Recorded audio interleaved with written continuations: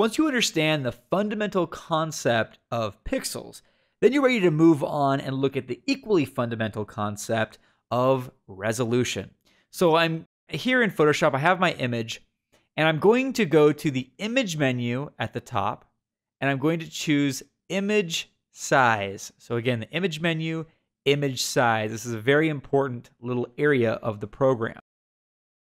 Here's what, in a nutshell, what's going on here. Photoshop is giving us the basic information about our image and also allowing us to make some changes. So we can see here in pixels what our image is. It's 861 pixels wide and 620 pixels high. We also see the document size and width and height in terms of inches. And the key here is resolution. That's the magic number here. And basically, what resolution means is how tiny the pixels are. Or more specifically, how many pixels can you fit in an inch? Now, the default for all screen displays, if you're going to go out to a mobile device or a TV screen website, the default resolution that you'll want to use is 72 pixels per inch. Now, this is not sufficient if you were going to print. For print, you would want a resolution of 300 pixels per inch. So when we look at this image, it says by default that the width is about 12 inches and the height is about 9 inches almost, 8.5 we'll say. And so we might say, that's great, that's a big size. But if we were to print this, it would look terrible because the resolution is only 72 pixels per inch. The squares and the little squares here, the pixels that make up this image would be far too big and it would just look terrible. So we could then take the resolution to 300 pixels per inch. That's great, right? It made our width and our height get way bigger, and now we could print it, correct?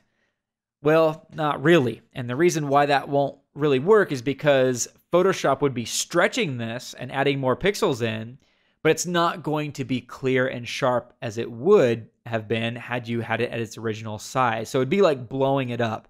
It would definitely get softer and lose some of its clarity. So I'm going to take the resolution back to 72 pixels per inch.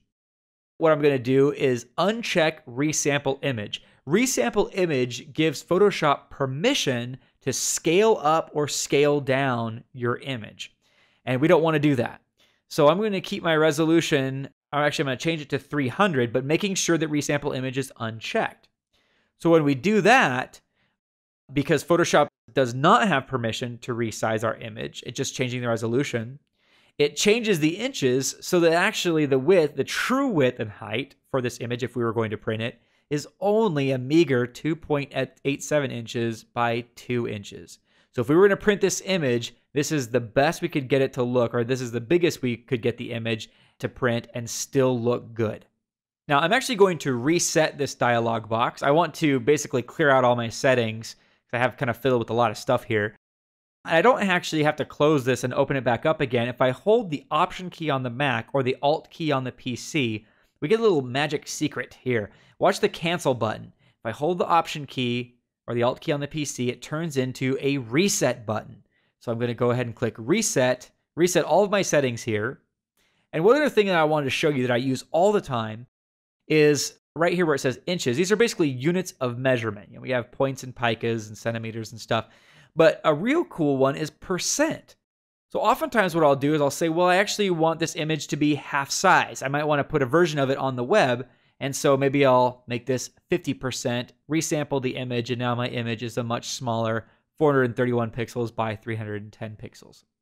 So that's another thing that you can use. And then once you're ready, you can go ahead and click OK. And we'll notice that Photoshop then shrinks our image to half of the size. Understanding image resolution, especially as it pertains to print resolution, can be a tricky subject, but it's really important that you are aware of that dialog box so that if you are to print, or even if you're going to save for the web, that you don't have any sudden changes that kind of throw you for a loop.